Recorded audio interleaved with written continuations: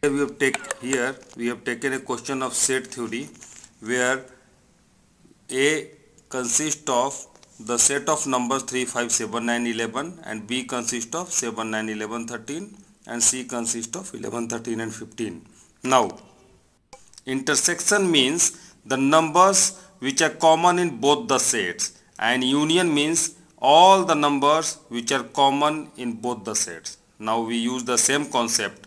Now here A intersection B can be find out as 7, 9, 11 because those numbers are the only numbers which are common in A and B.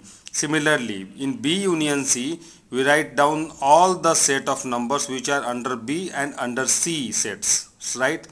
Now we find B union C as all the numbers. Now, the intersection of both these A intersection B and B union C is similarly the common of both those sets, both, both of these sets that is 7, 9, 11.